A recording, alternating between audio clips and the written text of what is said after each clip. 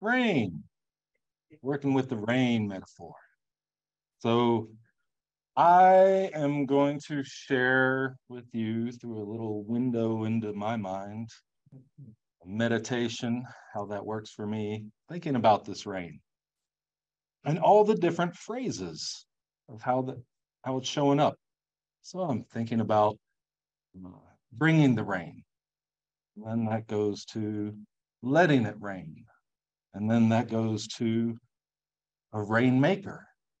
And then that goes to making it rain. And these are all very different things as I kind of let this unfold in my mind's eye. Bringing the rain. Kind of like when you travel, these are like the real surface definitions of these first four that I'm talking about. When I travel and I'm going to a different place, and right when I arrive at my destination, a storm also shows up. And I see the people I'm visiting, and they're like, hey, I see you brought the rain with you. Or it could be snow or sun or whatever. But the general idea is that the rain showed up because I showed up. I brought the rain.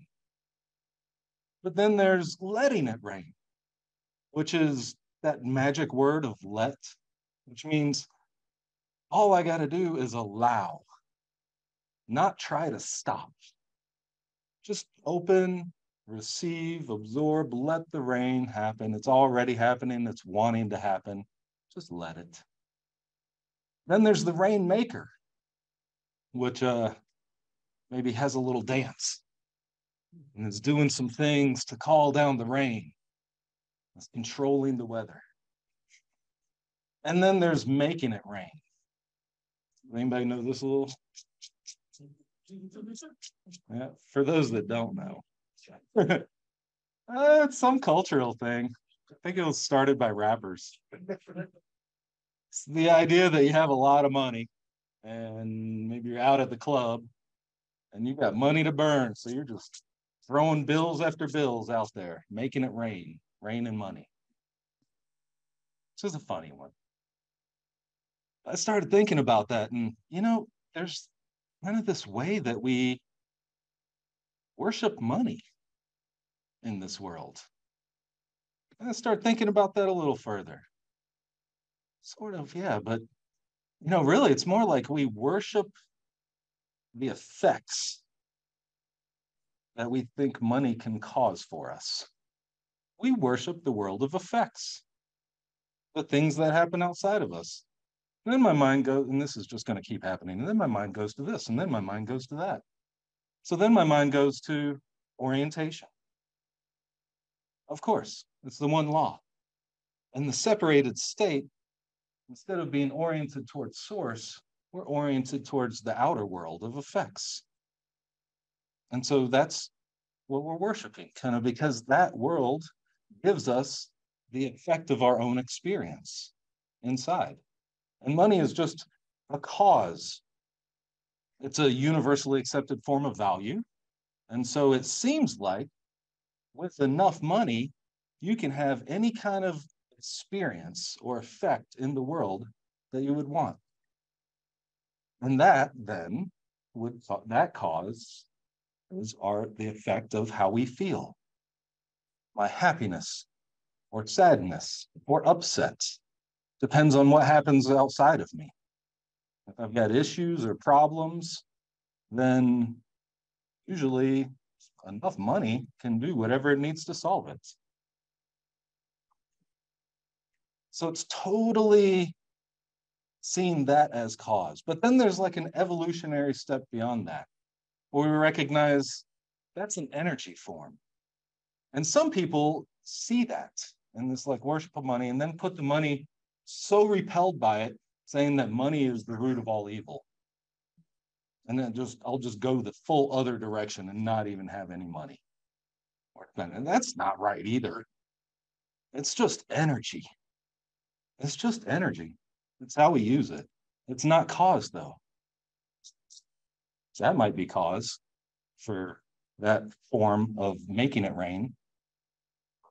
But what about me and my capacities as a creator being? I think this is the rainmaker.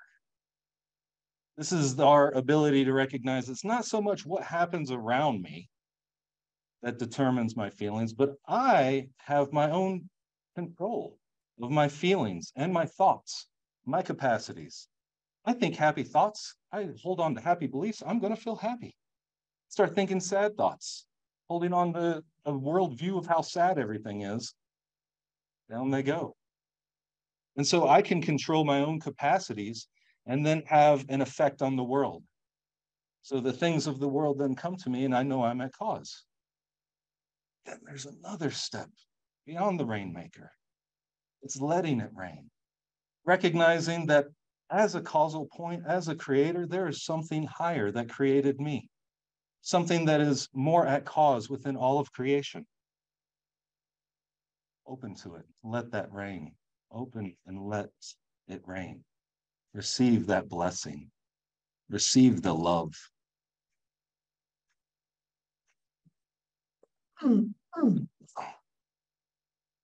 So, from that point now, on to the next thought is is this letting it rain is kind of like response and attraction. So the natural thing that happens is in union, and then after that is unified radiation. That's bringing the rain. That's recognizing the cause, having open to it.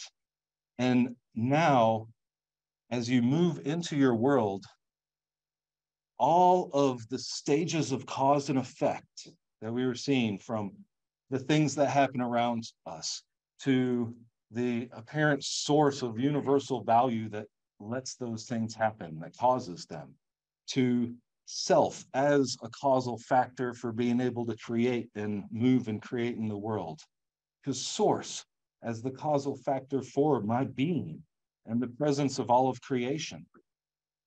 When that cause then moves through all these cycles, all the way out into the world. So that when I come in, I'm carrying spirit with it, me because I've opened to it. I'm bringing the rain because I let it rain.